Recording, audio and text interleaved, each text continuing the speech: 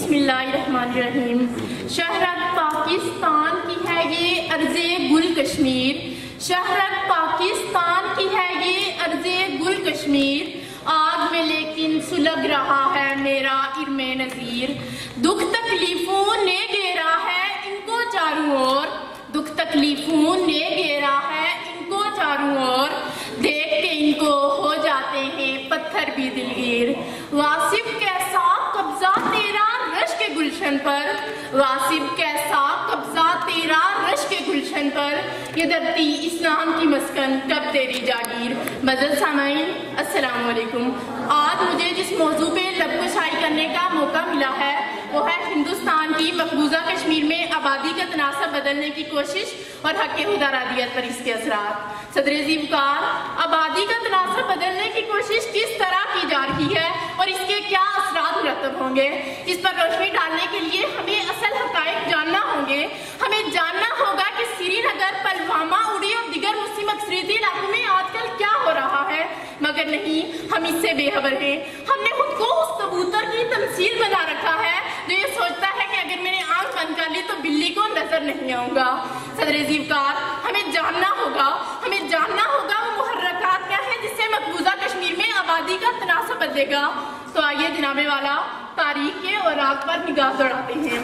सदर जीवकार, तकसीम बरसीर के वक्त जम्मू कश्मीर के हुक्मरान राजा हरी सिंह ने पहले तो खुद मुख्तार रहने का फैसला किया, मगर बाद मशरूत तौर पर इंडिया से इलाहाक पर आमादगी ज़ाहिर की।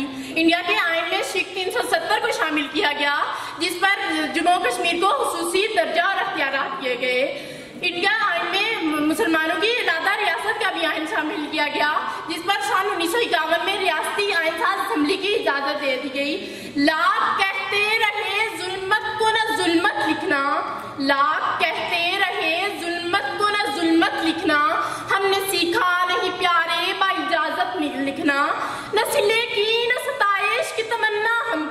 न सिले की न सताइश की तमन्ना हमको।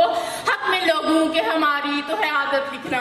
सदर जीवकार, इंडिया में बरसर इकतदार भारतीय जनता पार्टी की हुकूमत ने इंडिया आइन में शामिल शिक 370 के खात्मे का ऐलान कर दिया, जिसके तहत रियासत जम्मू कश्मीर के मुसलमानों को एक मुस्तकिल बाशिंदा पहचान होनी थी और बतौर शहरी उन्हें उनके खसूसी हकूक मिलने थे। इंडिया के आइन में जम्मू कश्मीर की खसूसी शहरीत के हक में दिफा पैंतीस का मसला पुराना है। इस कानून की रूह से जम्मू कश्मीर की हदूद से बाहर किसी भी इलाके का शहरी गैर मनकूला जायदाद का मालिक नहीं बन सकता। यहाँ आजादारा तौर पर सरमायाकारी नहीं कर सकता और ना ही यहाँ सरकारी मुलाजमत हासिल कर सकता है। सदर जीवकार भारत ने जन्नत कश्मीर में क्या क्या कर दिया? मुसलमानों की लाभ पर फिरते बिल्डोजर का हमें इल्म नहीं, घरों को मलिया मेट करती क्रेनों की हमें खबर नहीं, क्योंकि हम बीगा बीगा सदर जीवकार भारतीय जनता पार्टी ने आर्टिकल तीन सौ सत्तर के खात्मे का ऐलान तो कर दिया। मगर इसके क्या असर मतलब होंगे?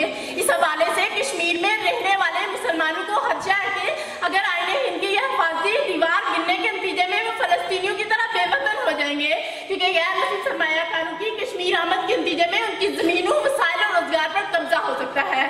सदर जीवकार, यह हदशा सिर्फ़ मुसलमानों के इंतहा पसंद हल्कों तक महदूद नहीं बल्कि हिंदवाद सियासी हल्के भी इस दफ़ा के बचाव में पेश उन्हें हदशा है कि अगर आर्टिकल पैंतीस से खत्म हो गया तो इंडिया की दूसरी रियासत से आकर लोग यहाँ पर जायदादें खरीदेंगे और मुसलमान यहाँ अकलियत बनकर रह जाएँगे।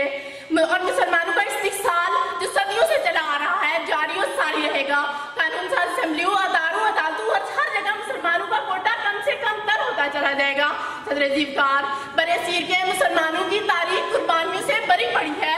उन्नीस सौ लेकर आज तक निहत्ते कश्मीरी अपनी जानों करते आ रहे हैं, मगर उनके जज्बा हुर्रियत में कभी कमी नहीं आई। लेकिन आज आज जबकि नई दिल्ली सरकार ने जो नया आयन मुतारफ करवाया और हिंदू को बड़ी तादाद में लाकर मकबूजा कश्मीर में बसाया जा रहा है उन्हें मुस्तकिल जमीनें अलाट की जा रही है उससे कुछ फसादात फरमान चढ़ रहे हैं। मुसलमानों के रहायशी तशख उसके तनासब को बदलने की जो कोशिश की जा रही है। अवाम उसके खिलाफ खड़े हुए, मगर पीडीपी की कठपुतली हुकूमत मुकम्मल खामोश है। सदर जीवकार